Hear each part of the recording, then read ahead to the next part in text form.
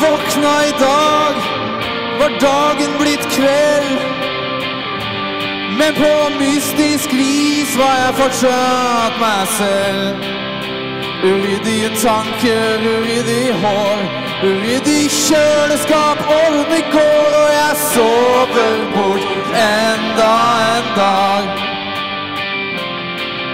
Sover bort I morgen skal jeg stå opp tidlig. I morgen skal jeg starte et nytt liv eller sove.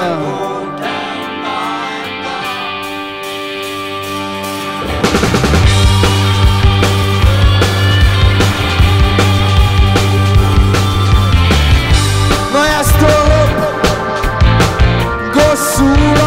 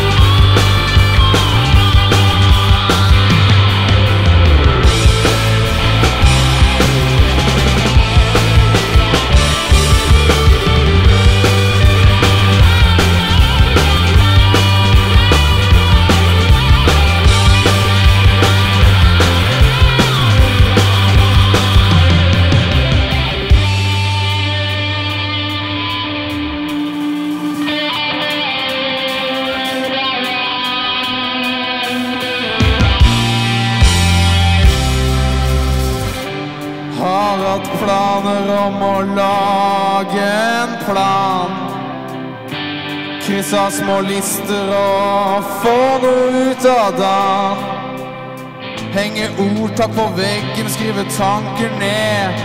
Følge på fremskritt, men så ender det med å sove bort enda en dag. Går det bra, eller? Sove bort